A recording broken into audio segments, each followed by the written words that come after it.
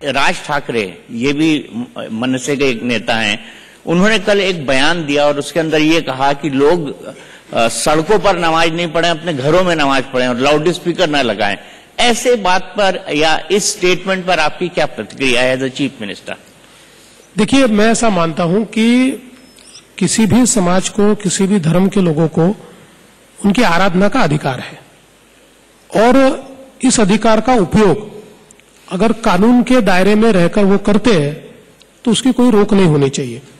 कानून का दायरा अगर टूटता है तो चाहे किसी भी धर्म का हो व्यक्ति उसके ऊपर कार्रवाई होनी चाहिए। और सरकार का काम भी यह है।